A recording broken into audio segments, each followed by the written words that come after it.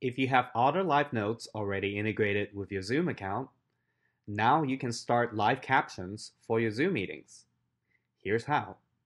First, start your Zoom meeting. Make sure that Otter Live Notes is automatically started at the upper left corner of your Zoom window. Next, click View Stream on Otter.ai Live Notes to launch Otter Live Notes in a new web browser tab. Now, click on the Close Caption button at the bottom of your Zoom window and click Copy the API token.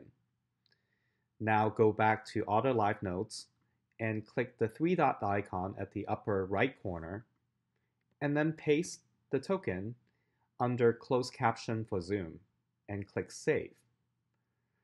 Now you're ready for a test. This is a demonstration of Otter Live Captions for Zoom.